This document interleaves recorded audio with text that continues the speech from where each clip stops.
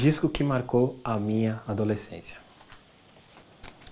The Barge, Todo Esse Amor. Passava na rádio, né? Então, essa música fez muita parte da minha adolescência, infância, no geral, assim.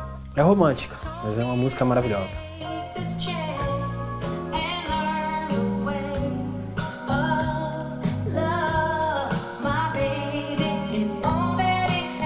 É de 1982 e tal. Eu tinha dois aninhos ali, mas eu só fui saber o nome dessa música quando eu já tinha uns 15, 16 anos já. Por isso que fez parte da minha infância e adolescência.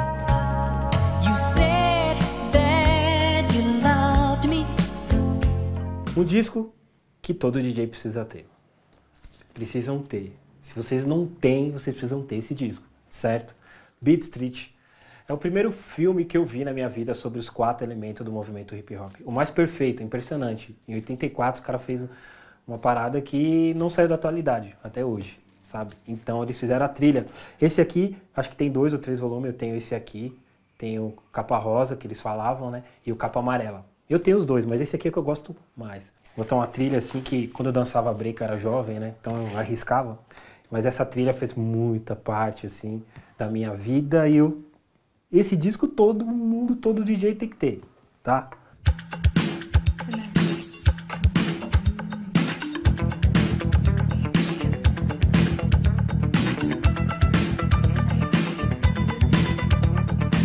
Demais isso.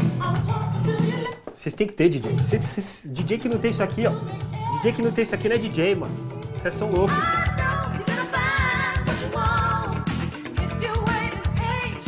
Disco com base revolucionária. Esse aqui, pra mim, do high-tech, é um dos melhores, tá? É, mano, é muito louco, eu acho que o primeiro álbum dele, sabe? Tem uma música aqui que é, que é sensacional. É de DJ mesmo, quando eu, várias vezes eu ouvia, eu gravava no, no, no quando passava na rádio, eu gravava na, nas fitas deck, assim, e eu achava, mano, essa, pra mim é revolucionário isso aqui, é, é demais, assim. Tanto que até começa com, com o Scratch, que é DJ high-tech, né? Então,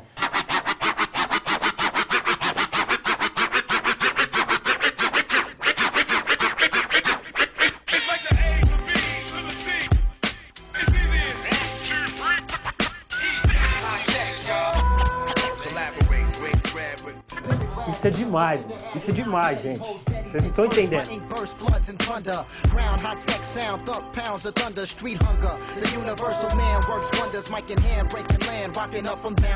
I got sound control and I'm kinda slick with it.